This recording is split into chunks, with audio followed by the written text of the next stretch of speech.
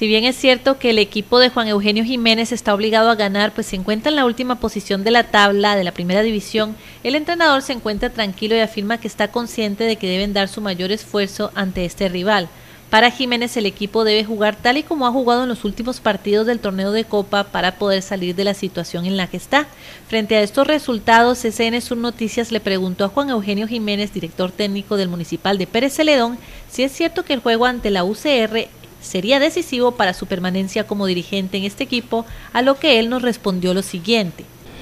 Uno como entrenador sabe que cuando los resultados no han, estado presentes,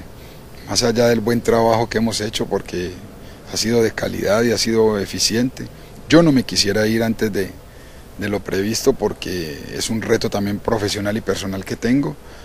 y corresponderá a una confianza que me han dado los directivos, la misma ciudad, yo estoy tranquilo porque he hecho las cosas bien a mi juicio. Nos habrá faltado los resultados, esperemos de que el domingo se empiecen a dar, poder enderezar el rumbo y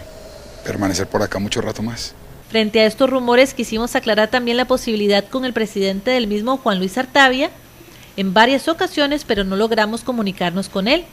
La situación no es fácil, afirma Jiménez, y están en la cuerda floja por los resultados de los últimos partidos. El equipo que juega en el torneo de Copa no es el mismo que se ha visto en el torneo nacional, pero el colombiano asegura que verá jugar ese equipo bien formado de la Copa frente a la UCR y que así el equipo recobrará esa confianza que han estado perdiendo en los últimos encuentros. El objetivo principal es sacar al Municipal de Pérez Celedón del sótano del torneo y continuar con mejores resultados totalmente distintos a los anteriores en este torneo nacional.